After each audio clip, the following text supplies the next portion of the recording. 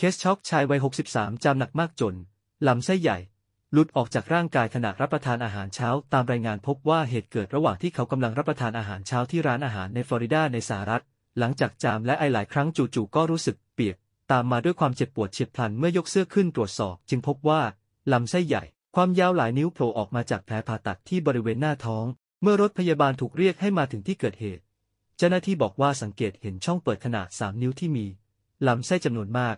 ยื่นออกมา โดยเจ้าตัวเล่าว่า เพิ่งได้รับการผ่าตัดช่องท้องมาเมื่อไม่นานนี้ แต่แพทย์ยืนยันว่าแผลหายดีแล้ว เขาและภรรยาจึงตัดสินใจมาร้านอาหารแห่งนี้ เพื่อฉลองสุขภาพที่ดีขึ้น โดยไม่คาดคิดว่าจะเกิดเหตุการณ์เช่นนี้ขึ้นได้ โชคดีที่มีการสูญเสียเลือดเพียงเล็กน้อย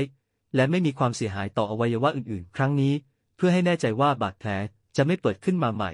ศัลยแพทย์จึงทำการเย็บแผลแบบ figure of 8ซึ่งเป็นหนึ่งในการเย็บแบบขั้นสูง และแข็งแรงที่สุด หลังจากรักษาตัวในโรงพยาบาล เป็นเวลา 6 วันเขาก็สามารถกลับบ้านได้ และมีรายงานว่าหายดี โดยไม่มีอาการแทรกซ้อน กรณีของชายคนนี้ถูกนำเสนอใน American Journal of Medical Case Reports โดยคาดว่าเคสแผลผ่าตัดเปิดออกเช่นนี้จะเกิดขึ้นในคน 3 ใน